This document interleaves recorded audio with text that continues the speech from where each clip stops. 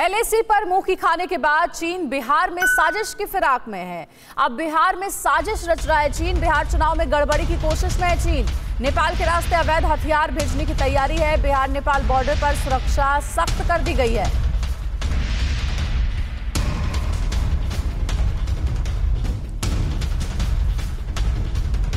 क्या आप पर भी बरपा है जालसाजी का कहर?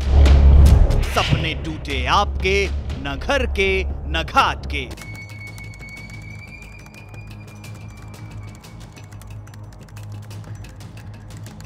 देखिए लूट घर हर रात साढ़े नौ बजे। फ़िक्र आपकी।